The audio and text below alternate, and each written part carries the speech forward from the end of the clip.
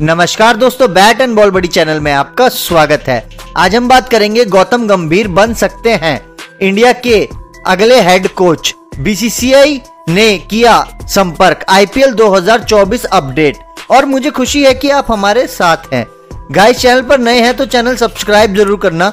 यहाँ आपको क्रिकेट और स्पोर्ट्स से जुड़े सारे अपडेट मिलते हैं। नई दिल्ली टीम इंडिया के पूर्व सलामी बल्लेबाज गौतम गंभीर अगले हेड कोच के रूप में देखने की संभावना प्रबल हो गई है।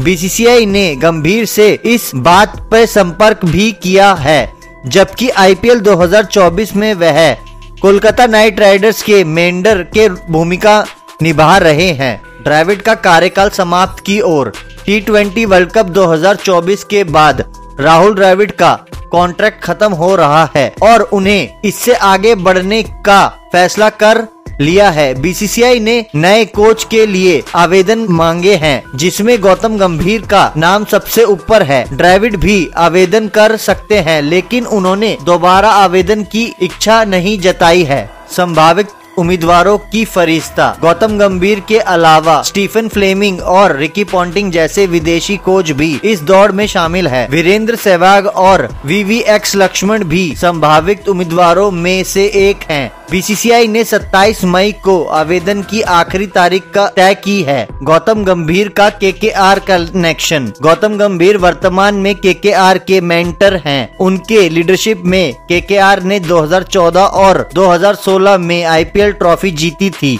अब मेंटर के रूप में गंभीर का लक्ष्य एक बार फिर केकेआर को चैंपियन बनाना है। क्या गंभीर बन पाएँगे अगले हेड कोच?